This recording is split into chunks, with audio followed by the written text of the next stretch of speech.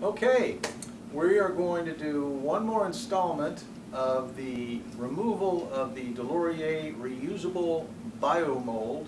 Uh, These cylinders, my assistant will show them. Uh, These were made three days ago and using a Sakrete mix. They were made a little bit wet. And uh, after 24 hours, I stripped the first one, which was this one, simply by turning the mold over and shaking it and it came right out. And then yesterday I stripped this one uh, with just one shot of air and it came right out. And now we're going to strip a mold.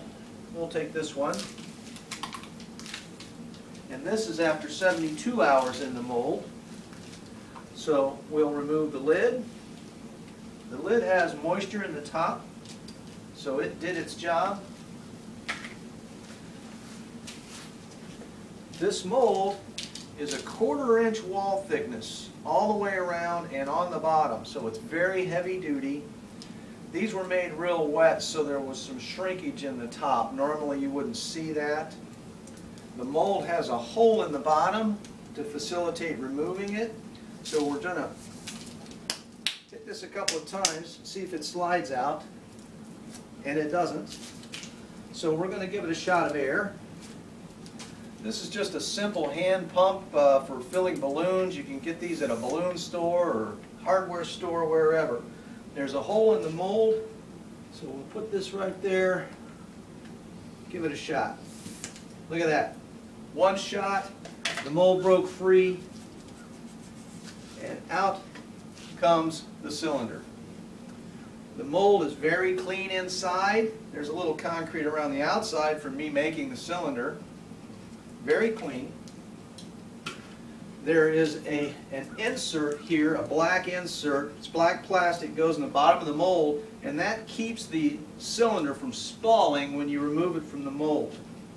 This liner can be reused, and we just peel that off like so.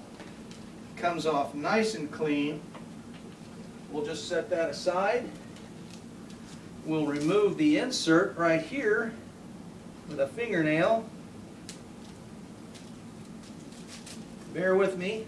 There it comes. There's the insert. Very nice. Nice clean edges, no spalling. Mold is well consolidated. And that is the reusable biocylinder system. To make the next one, we drop the insert back in the mold. We put the liner back in. And we're ready to make another one. That's today's video. Thanks for watching.